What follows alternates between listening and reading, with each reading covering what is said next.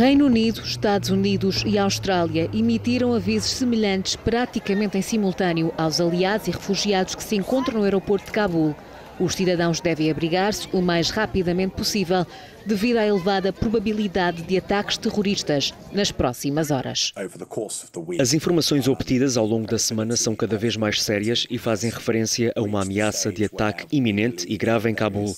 Aconselhamos as pessoas a não irem para o aeroporto. Aliás, as que lá estão devem afastar-se e colocar-se em segurança até instruções contrárias. O alerta é lançado numa altura em que milhares de afegãos se aglomeram em torno do palco de retirada do Afeganistão. A Austrália pediu esta quinta-feira aos cidadãos australianos que não viajem para o aeroporto, citando uma ameaça elevada de ataque terrorista. Já a Embaixada dos Estados Unidos em Cabul apelou aos americanos que se afastem imediatamente de três portões específicos do recinto aéreo por ameaças à segurança fora dos portões não especificadas.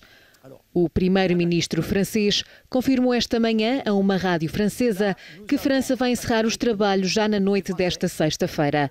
Bélgica, Polónia, Hungria e Dinamarca já finalizaram os esforços, com o ministro da Defesa dinamarquês a alegar que já não é seguro sobrevoar Cabul.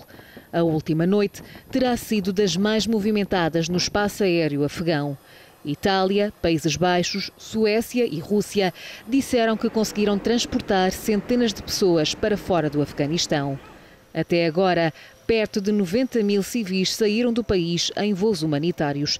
Estima-se que 10 mil resistam aos avisos de possível ataque terrorista no aeroporto, na esperança de fugir ao controle talibã. São famílias inteiras, desde crianças aos mais idosos.